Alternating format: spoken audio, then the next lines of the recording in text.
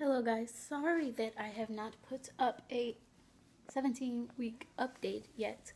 This is going to be a short little 17 week update because I have really nothing to update you about and I'm really busy babysitting and I've had no time to make and upload and edit um, a video. So this is a really short webcam uh, video and so I think my face is getting really full. I've been feeling lots of kicks.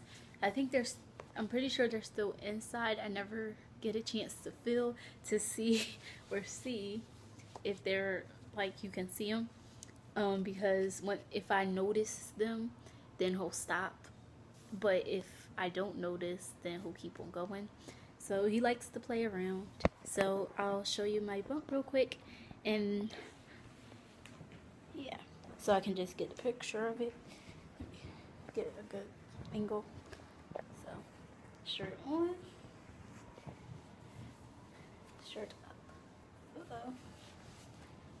Shirt up. Wait, wait, wait, wait, wait. Shirt up. So I thought I'd make this video before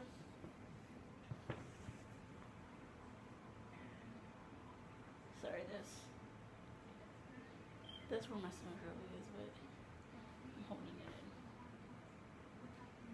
um, but yeah, so hopefully I have a lot to update you on on my 18 week update on next Wednesday. So this is just a really quick 17 week update, and yeah, almost halfway, almost halfway there.